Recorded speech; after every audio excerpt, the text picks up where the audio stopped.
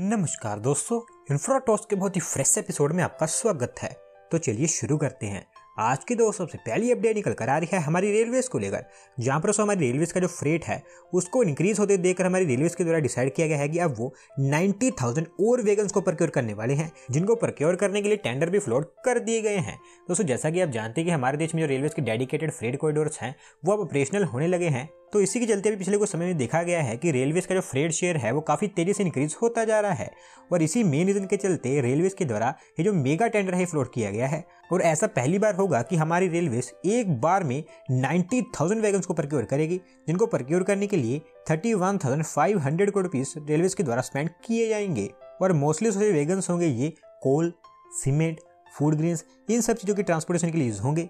इसमें से भी सबसे ज़्यादा 42,000 कोल के लिए 40,000 सीमेंट के लिए एंड जो रिमेनिंग है वो फ़ूड ग्रेन्स के लिए होंगे। और अगले तीन सालों के अंदर अंदर इन सबको प्रक्योर कर लिया जाएगा ऐसा हमारी रेलवेज के द्वारा कहा गया है। अगली दोस्तों अपडेट निकल कर आ रही है हमारे देश की एक न्यू गवर्नमेंट एजेंसी को लेकर, जहाँ पर दोस्तों हमारे देश में सेंट्रल गवर्नमेंट के द्वारा नेशनल लैंड मोनेटाइजेशन कॉर्पोरेशन से रिलेटेड जो प्रपोजल है वो अप्रूव कर दिया है और अब जल्दी ही इसको इनकॉर्पोरेट कर दिया जाएगा।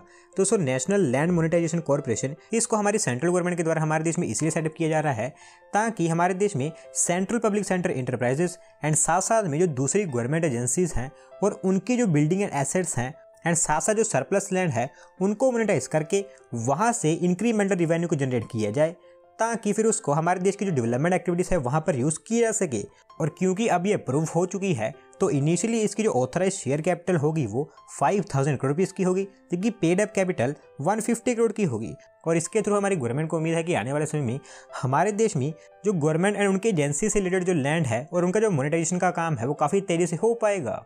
बढ़ते हैं दोस्तों, अगली अपडेट की तरफ़, जो निकल कर आ रही है हमारे देश की न्यू वंदे भारत ट्रेन को लेकर, जहाँ पर 158 और वंदे भारत ट्रेन के लिए हमारे रेलवे के द्वारा ऑर्डर प्लेस कर दिया गया है। और इस बार हमारे देश में सात कंपनीज़ को वंदे भारत की मैन्युफैक्चरिंग के टेंडर दिए गए हैं। तो दोस्तों, ये तो आपको बताने की ज़रूरत नहीं है कि हमारे देश में अगले तीन सालों के अंदर अंदर कितनी वंदे भारत ट्रेन आएँगी। खैर, वैसे मैं आपको बता देता हूँ कि अगले तीन सालों के अंदर अंदर हमारे देश में 400 न्यू वंदे भारत ट्रेन आपको देखने को मिलेंगी। एंड इसी में से 58 और वंदे भारत ट्रेन के लिए ऑर्डर प्लेस कर दिया है। जिसके अंतर्गत मेधा सर्वो जिनको पहले भी 44 वंदे भारत के लिए कॉन्ट्रैक्ट मिल चुका है उन्हें वंदे भारत ट्रेन के लिए जो इलेक्ट्रिक प्रोपल्सन सिस्टम है वो बनाने के लिए 26 यूनिट्स का ऑर्डर मिल गया है। बोम्बार्डियर को 16, साइमंस को 9 and Bharat heavy electrical cylinder को चार। इसके अलावा सैनी टीटागढ़ वेगन्स एंड सीजेल इन तीनों को एक एक वेगन के लिए जो इलेक्ट्रिक प्रोपल्सन सिस्टम है बनाने का कॉन्ट्रैक्ट दिया गया है। ओवरऑल दोस्तों, ये हमारी रेलवे का 2600 करोड़ रुपीज़ का कॉन्ट्रैक्ट है। तो देखते हैं कब तक वंदे भारत ट्रेन के लिए जो इलेक्ट्रिक प्रोपल्सन सिस्टम है, वो बनकर तैयार होते हैं। अगली दो सुबह निकल कर आ रही है German automotive manufacturing company Audi को लेकर, जहाँ पर दोस्तों इंडिया में उनके प्रोडक्ट्स की डिमांड को देखते हुए स्पेसिफिकली मुंबई मेट्रोपोलिटन रीजन में उनकी डिमांड को देखते हुए, उन्होंने मुंबई में उनका एक new pre owned luxury car showroom setup कर दिया है, जो कि मुंबई वेस्ट में बनकर तैयार हुआ है। दोस्तों, पिछले कुछ समय में देखा गया है कि ओडी का जो इंडिया में बिज़नेस है, वो काफ़ी तेज़ी से एंड मल्टीपल फोर्स इंक्रीज होता चला जा रहा है। और इसके पीछे इन्होंने बताया है कि इनकी जो सेल्स हैं, वो काफ़ी ज़्यादा तेज़ी से ड्रिवन हुई हैं। और अभी कुछ दिन पहले ही इन्होंने साउथ मुंबई में भी उनका एक न्यू शोरूम सेटअप किया था। और जैसा कि मैंने बताया कि ग्रोथ इनका काफ़ी तेज हो रहा है तो इसके चलते इन्होंने मुंबई वेस्ट में भी एक न्यू ओपन कर दिया है, जो कि 2000 स्क्वायर फीट के एरिया में फैला है। और अभी ऐसा कहा गया है कि इसी तरह के और भी सेंटर्स मुंबई के अलग अलग एरियाज़ में सेटअप किए जाने हैं। अगली दो सौ डे निकल कर आ रही है वर्ल्ड हेल्थ ऑर्गेनाइजेशन से रिलेटेड जहाँ पर दोस्तों हमारी सेंट्रल गवर्नमेंट के द्वारा डब्ल्यू एच ओ के जो इंडियन प्लान है उनको अप्रूव कर दिया गया है। और अब जल्दी ही गुजरात के जामनगर में डब्ल्यू एच ओ का global centre for traditional medicine जिसको शॉर्ट में W H O G C T M भी कहा जाता है, ये ओपन होना है। दोस्तों, जो डब्ल्यू का G C T M centre है, ये जामनगर में हमारी मिनिस्ट्री ऑफ़ आयुष के अंडर में सेटअप किया जाएगा। एंड ये आप कह सकते हैं हमारे देश की जो फार्म इंडस्ट्री है, उसके लिए काफ़ी बड़ा पुश है, क्योंकि डब्ल्यू का ये जो जीसीटीएम सेंटर होगा ये, उनका वर्ल्ड में इकलौता and one and only global outpost centre for traditional medicine होगा। और इसके बेनिफिट्स ये होंगे कि हमारे देश का जो आयुर्वेदिक एंड जो आयुष सिस्टम है, वो ग्लोबली काफ़ी ज़्यादा स्ट्रॉन्ग होगा। साथ साथ हमारे देश की जो आयुष सिस्टम है, उसकी सेफ्टी क्वालिटी ये सब चीज़ें भी बेहतर होती हुई देखने को मिलेंगी। दोस्तों, देखते हैं कि कब तक ये जो सेंटर है बनाकर कंप्लीट किया जाता है।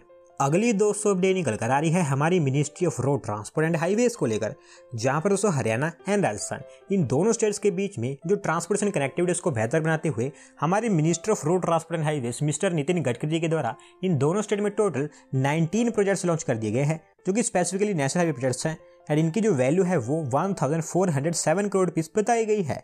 दोस्तों, जो सभी के सभी 19 प्रोजेक्ट्स हैं मोस्टली इनका इनोग्रेशन ही किया गया है। और अगर कुछ मेन प्रोजेक्ट्स के बारे में आपको बताऊँ तो दिल्ली से गुरुग्राम के बीच में जो ट्रैफ़िक कंजेशन है, उसको रेड्यूस करने के लिए एक यू टर्न का कंस्ट्रक्शन किया गया है, जो कि आप कह सकते हैं कि इस स्टेच पर एक काफ़ी मच नीडेड थिंग थी। इसके अलावा दिल्ली जयपुर हाईवे पर बहुत सारे फ्लाईओवर्स लॉन्च किए गए हैं एंड इसके बारे में मैंने आपको एक दो वीक पहले बताया भी था कि यहाँ पर कई सारे प्रोजेक्ट्स हमारे minister of road transport highways Nitin Gadkari के द्वारा लॉन्च किए जाने हैं। इसके साथ साथ नेशनल हाईवे फोर्टी पर बहुत सारे major and minor bridges launch किए गए हैं। और कहा ऐसा गया है कि जो सभी के सभी प्रोजेक्ट्स होंगे, जो जिन एरिया से होकर गुजरेंगे, वहाँ पर टूरिज़्म एग्रीकल्चर इंडस्ट्री ट्रेड इन सभी चीज़ों को बूस्ट प्रोवाइड करवाएँगे। बढ़ते हैं दोस्तों अगली अपडेट की तरफ़, जो निकल कर आ रही है हिमाचल प्रदेश स्टेट में बनने वाली एक न्यू टनल से रिलेटेड जहाँ पर दोस्तों हिमाचल प्रदेश की कैपिटल सिटी यानी कि शिमला में जो ट्रैफ़िक कंजेशन है, उसको कम करने के लिए एक न्यू टू लेन टनल का कंस्ट्रक्शन किया जाना है और इसके लिए हिमाचल प्रदेश स्टेट के चीफ मिनिस्टर जी के द्वारा फाउंडेशन सोन भी रख दिया गया है। दोस्तों ये टनल होगी, इसका नाम ढली टनल होगा, जो कि अराउंड 147 मीटर लॉन्ग होगी। और इस टनल में जैसा मैंने आपको बताया कि दो लेन्स का कंस्ट्रक्शन किया जाना है, जिसमें से एक लेन एक डायरेक्शन के लिए होगी और दूसरी दूसरी डायरेक्शन के लिए होगी। और वैसे मैं आपको बता दूँ कि शिमला स्मार्ट सिटी प्रोजेक्ट के अंतर्गत कैथली घाट से धल्ली सेक्शन का जो फोर लेनिंग का काम है वो किया जाना है, ताकि इनके बीच में जो ट्रैफ़िक कंजेशन है उसको रिड्यूस किया जा सके। क्योंकि दोस्तों, इन दोनों प्लेसेस के बीच में 1852 की बनी एक टनल अभी मौजूद है, जो कि आज के स्टैंडर्ड की नहीं है, और इसी के चलते यहाँ पर काफ़ी ज़्यादा ट्रैफ़िक कंजेशन देखने को मिलता है, जिसको रेड्यूस करने के लिए ये न्यू टनल प्लान की गई है, और इस पर अब 49 करोड़ रुपीज़ स्पेंड करके इसको जल्दी ही कंप्लीट कर दिया जाएगा। और कहा ऐसा गया है कि ट्रैफ़िक को रिड्यूस करने के साथ साथ में ये इस एरिया में ट्रैफ़िक को इफेक्टिवली मैनेज करने में भी हेल्पफुल होगी। अगली दो सौ डे निकल कर आ रही है हमारी नेशनल कैपिटल दिल्ली से, जहाँ पर उस दिल्ली के ट्रांसपोर्टेशन सिस्टम को ग्रीन पुश प्रोवाइड करवाते हुए डीटीसी के द्वारा दिल्ली में 100 और सीएनजी बसेस को स्टार्ट कर दिया गया है। साथ साथ एक इलेक्ट्रिक बस भी स्टार्ट की गई है। दोस्तों, जो सौ सी बसेस हैं, ये सभी के सभी लो फ्लोर ए सी बसेस हैं, जिनको दिल्ली गवर्नमेंट की क्लस्टर स्कीम के अंतर्गत यहाँ पर लाया गया है। और इन सी बसेस में जो बेसिक फैसिलिटीज़ होती हैं, वो तो है ही हैं। साथ साथ panic buttons CCTV cameras real time tracking GPS इस तरह के जो एडवांस सिस्टम्स हैं, उनको भी लाया गया है। और वहीं बात करें इलेक्ट्रिक बस के बारे में तो दोस्तों जो इलेक्ट्रिक बस स्टार्ट की गई है, ये एक तरह का प्रोटोटाइप है, जो कि इंद्रप्रस्थ जयपुर से स्टार्ट की गई है। इसी के परफॉर्मेंस को चेक करते हुए ये देखा जाएगा कि डीटीसी के लिए कौन सी इलेक्ट्रिक बसेस को प्रक्योर किया जाए। वैसे कहा ऐसा गया है कि अप्रैल तक दिल्ली में डीटीसी के लिए 300 और ई बसेस को पहुँचा दिया जाएगा, जबकि जो न्यू सी बसेस है, ये रेगुलर बेसिस पर दिल्ली में पहुँचती रहेंगी।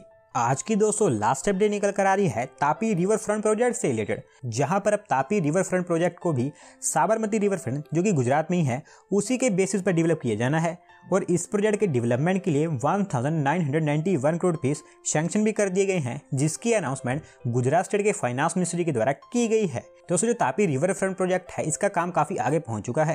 क्योंकि एज ऑफ़ नाउ इस रिवर फ्रंट प्रोजेक्ट की डेवलपमेंट के लिए गुजरात गवर्नमेंट के द्वारा इस रिवर के रिवर बैंक्स के ऊपर 54 हेक्टेयर्स ऑफ़ लैंड को भी अप्रूव कर दिया गया है। साथ साथ प्रोजेक्ट के डेवलपमेंट के लिए जो स्पेशल पर्पज व्हीकल है, उसका भी फॉर्मेशन हो चुका है। और क्योंकि अब इसके लिए फंड्स भी एलोकेट हो गए हैं तो अभी हमें इस प्रोजेक्ट के डेवलपमेंट के लिए कोई हडल सामने देखने को नहीं मिल रही है। और करंटली कहा ऐसा गया है कि इस प्रोजेक्ट के लिए जो रिमेनिंग अमाउंट है वो as a loan World Bank से सैंक्शन करवाई जाएगी, जो कि around one thousand five hundred crore rupees के आसपास है। और वर्ल्ड बैंक अगर इसलिए अग्री हो जाता है तो जल्दी ही उनके साथ भी एक लोन अग्रीमेंट साइन होगा, जिसके बाद में इसका काम काफ़ी तेज़ी से आपको होता हुआ देखने को मिल सकता है। तो दोस्तों, आज की वीडियो में बस इतना ही। अगर आप अपनी तरफ़ से कोई अपडेट सबमिट करना चाहते हैं तो डिस्क्रिप्शन में दिए गए लिंक पर क्लिक करके सबमिट कर सकते हैं। और अगर आज की वीडियो पसंद आई हो तो वीडियो को लाइक करें चैनल को सब्सक्राइब करें। धन्यवाद आपका वीडियो को देखने के लिए।